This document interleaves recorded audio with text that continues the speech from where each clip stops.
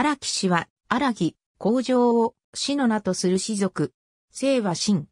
後阿孫、演技式、新名町、大和国内郡上に見える、荒木神社の鎮座地の地名による市の名称とされている。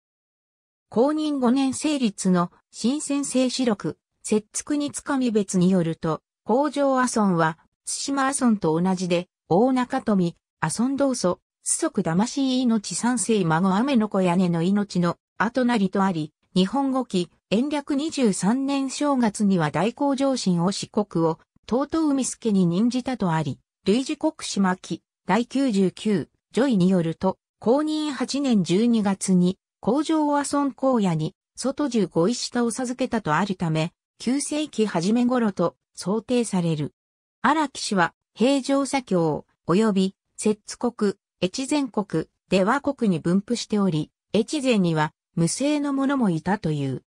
一族には、天平7年8月14日、湯河市持論抜語の工場神田とかがいるが、著名なのは、は、越前国境軍の豪族である荒木神で、同軍の義手姓に荒木神、ノブバーの名がある。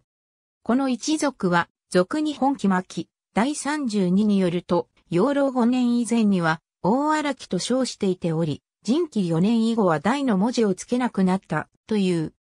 初期巻第28によると、天平神後3年5月、荒木道マロとその子息の押国が最大寺に根伝、稲、章などを献上し、上位された、とある。押国は、その後、神後慶運2年8月、左兵庫助に任命され、法紀4年に大荒木神の市政に服し、東東海助、主名頭を歴任している。初期巻、第36、法紀11年8月にも越前国の人、大荒木神を資産の名が見えている。